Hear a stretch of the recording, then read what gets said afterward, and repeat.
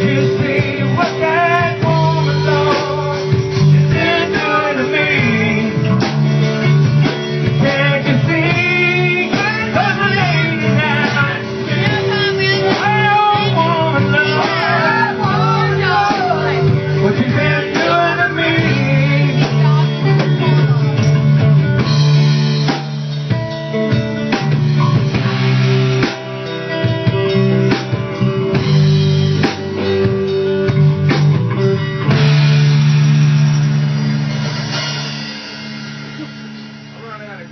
That was almost like writing the ABC the first time.